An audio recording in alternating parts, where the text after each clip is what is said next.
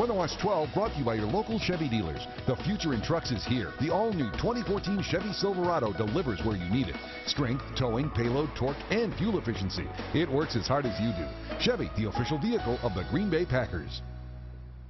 What an incredible start to October. High temperature hitting 80 degrees.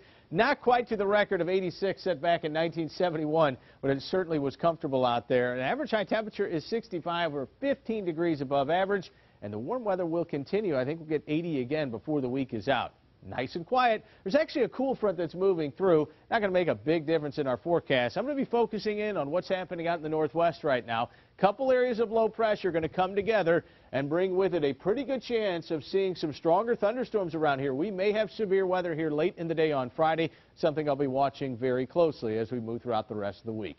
As we head into Wednesday, beautiful. Temperatures back up to 74 degrees. Not quite as warm, but certainly nice. Plenty of sunshine. A few showers on Thursday. Shouldn't rain all day. Still warm. And most of the day on Friday is warm and windy, up to 80 degrees. Then watch out for those storms. Again, some of those could be strong to severe.